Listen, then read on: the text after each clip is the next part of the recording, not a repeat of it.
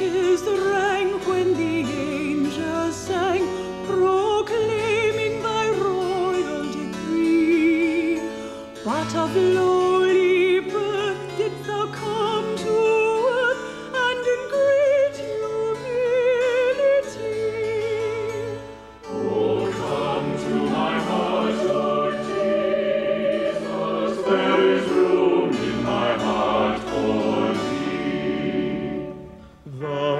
foxes found rest, and the birds their nest in the shade of the forest tree.